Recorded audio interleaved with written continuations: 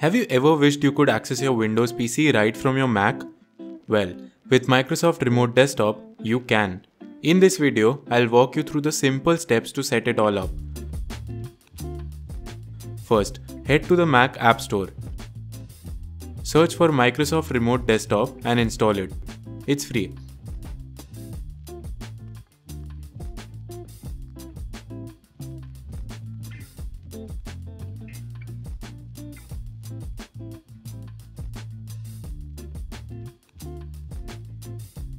And there you have it. The app is now installed and ready to use.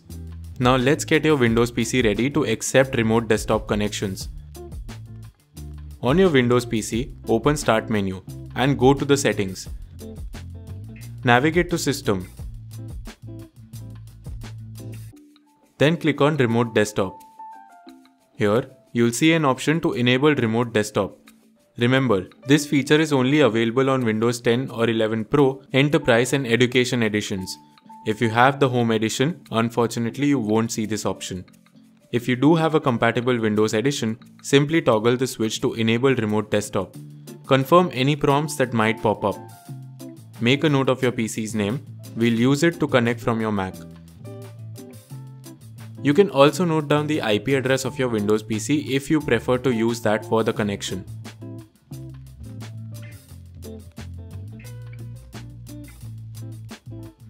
Guys, in this video, we are going to focus on accessing your PC within your local network. But if you're looking to connect remotely over the internet, I've got you covered. I made a separate video just for that. Be sure to check it out. I'll drop the link in the video description. Alright, your Windows PC is all set. Now, let's switch over to your Mac and configure the remote desktop connection. On the remote desktop app, click on Add PC in the PC name field, type either the IP address or the computer name of your Windows PC, whichever you prefer. If you'd like to store your login details for quicker access in the future, click on Add User Account.